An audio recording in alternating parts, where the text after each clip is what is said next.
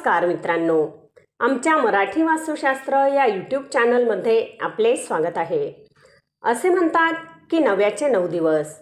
लग्न झाले की नवीन जोडपे असते. सगळीकडे कोडकौतुक चालते. आणि लग्नाला थोडा काळ लोटला की एकमेकांच्या स्वभावाची ओळख व्हायला सुरुवात होते. त्यात थोड्या दिवसानंतर दोघांमध्ये एकमेकांना परिवर्तन जाणवायला लागते. हे परिवर्तन कधी सकारात्मक असते तर कधी नकारात्मक. नकारात्मक बदलांमुळे आपल्याला कितीतरी अडचणींचा सामना करावा लागतो. आपला अपेक्षाभंग होतो. अनपेक्षितपणे जे नको ते समोर येते. खरे तर विवाह हे एक असे बंधन आहे जे प्रेम व विश्वासावर आधारित आहे. प्रेम किंवा विश्वास दोघांपैकी एकाच जरी कमी आली की विवाह बंधन धोक्यात येऊ शकते.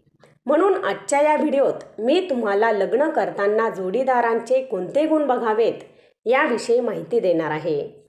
ज्यामुळे आपले विवाह बंधन हे जन्मानुबन जन्माचे बंधन होऊन ते सुखकर व आनंद देणारेही होईल.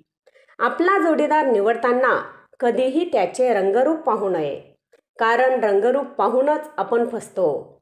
खरे तर जोडीदाराचे कर्तृत्व हुशारी व संस्कार पहावेत. मगच त्याला लग्नासाठी होकार द्यावा.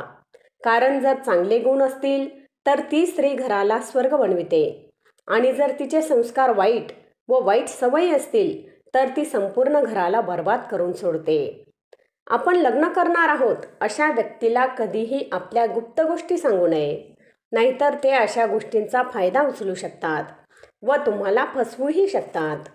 त्याशिवाय स्त्रियांच्या पोटात कोणतीही गोष्ट जास्त काळ राहत नाही. म्हणून या सर्व गोष्टी सार्वजनिक व्हायला वेळ लागत नाही. आपल्यापेक्षा अतिरूपवान व्यक्तीशीही लग्न करू नये कारण त्यांना त्यांच्या रूपाचा गर्व असतो व चार चौघांमध्ये या गोष्टीवरून ते आपला अपमानही करू शकतात. त्याशिवाय आपला जोडीदार जास्त सुंदर असेल तर त्याच्याकडे किंवा तिच्याकडे इतर व्यक्तीही आकर्षित होतात व अशी व्यक्ती तुम्हाला धोका देऊन इतरांकडेही आकर्षित होऊ शकते. जी स्त्री नेहमी चिडून व जोरजोरात ओरडून बोलते नेहमी रागराग करते अशा स्त्री किंवा पुरुषांशीही कधीच लग्न करू नये.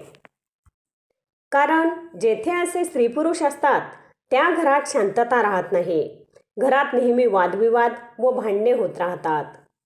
तर मित्रांनो या काही खास बाबी आहेत ज्या विवाह जमविण्यापूर्वी आधी पडताळून पहाव्यात नाहीतर नंतर हातात फक्त पश्चातापच राहील.